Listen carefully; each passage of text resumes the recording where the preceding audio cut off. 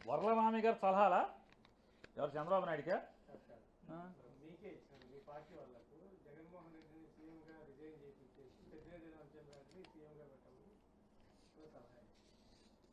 ఇప్పుడు పార్టీ అధ్యక్షుడు ఆయన ఎందుకు ఉండకూడదు అసలు? వరలరామి గారు? ఇప్పుడు సలహాలు ఎవ ఇప్పుడు ఒక రాజ ఒక వ్యవస్థను నడిపేట అంటే ప్రభుత్వాన్ని నడిపేటువంటి విషయాల్ని సలహాలు ఇవ్వాలంటే ఏదో ఒకటి స్తోమత ఉండాలి కదా. ఏదో ఒక సత్తువ ఏదో ఒకటి కావాలి కదా. ఏముంది ఆయనకి? ఏదైనా ఎమ్మెల్యే చేశాడా? ఎంపీ చేశాడా? రాజ్యసభ చేశాడా?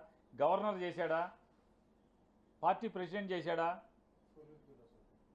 ఈ పొలిట్ బ్యూరోలు మామూలుగా ఇవన్నీ కూడా తోతాపురి కంపెనీలు అండి ఎవడు పడితే ఆయన వేసుకుంటారు దాంట్లో. పొలిట్ బ్యూరోలు ఏముంది? వేస్తారు తీస్తారు చంద్రబాబు నాయుడు కాగితం పెడితే కాగితం మీద సంతకం పెడితే వచ్చేదే కదా పొలిట్ బ్యూరో అంటే. పొద్దున్న సంతకం పెట్టి రాత్రి పీకేసానంటే లేదు కదా. నోటితో పొలిట్ బ్యూరోలో ఉందంటే ఉంది. నోటితో తీసేసానంటే తీసేసాను దానికి ఏం గవర్నమెంట్ ఆర్డర్ కూడా అక్కర్లేదు కదా. సలహాలు ఊరికే లేదు. మామూలుగా ముందేనండి చంద్రబాబుకి ఇచ్చుకోమనండి సలహాలు శుభ్రంగా.